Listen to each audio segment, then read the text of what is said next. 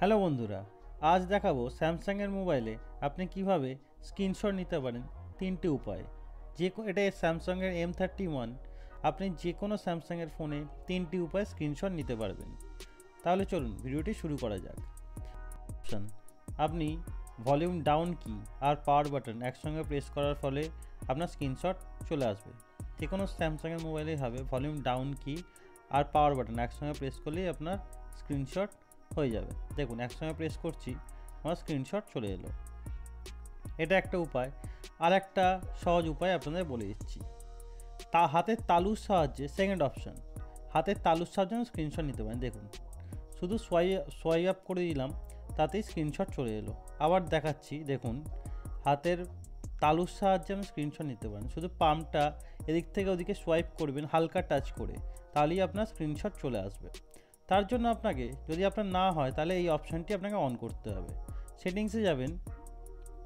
সেটিংসে গিয়ে অ্যাডভান্স ফিচারে যাবেন। অ্যাডভান্স ফিচারে গিয়ে মোশন অ্যান্ড জেস্চারে যাবেন। দেখুন পাম সোয়াইপ টু ক্যাপচার এটা অন করে দেবেন। তার ফলেই আপনি হাতের তালু দিয়ে মানে পাম্প দিয়ে আপনি স্ক্রিনশট নিতে পারবেন।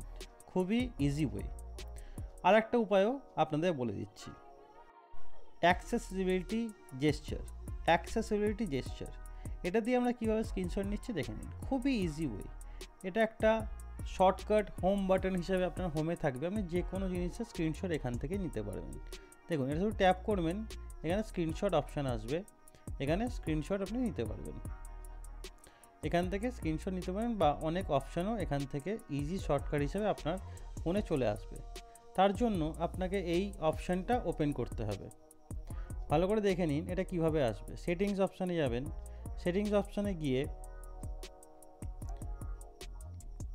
সেটিংস অপশানে গিয়ে আপনাকে প্রথমে যেতে হবে অ্যাক্সেসিবিলিটি অ্যাক্সেসিবিলিটিতে গেলেন, এরপর interaction and dexterity interaction and dexterity গিয়ে অ্যাসিস্ট্যান্ট মেনুটা ট্যাপ করবেন। অ্যাসিস্ট্যান্ট মেনু ট্যাপ করে অন করে দিলে এটা চলে আসবে। অ্যাসিস্ট্যান্ট মেনু অপশানে যাবেন।